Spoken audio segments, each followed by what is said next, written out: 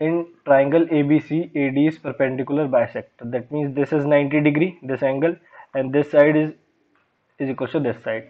Show that angle triangle ABC is isosceles triangle in which AB is equals to AC so to show it uh, it is an isosceles and we need to show that this side is equals to this side.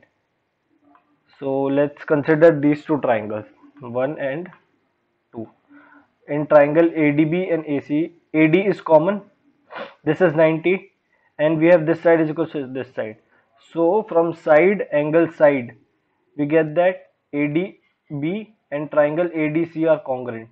So when these two triangles are congruent we can say that AB is equals to AC uh, imagine if you are doing in a practical way what you can do is draw a similar triangle as shown in the figure and fold it in half by rotating it from the AD so when you rotate it or fold it you will see that one triangle will overlap over the other. So this is how you show it in a practical way that these two triangles are uh, congruent. Next question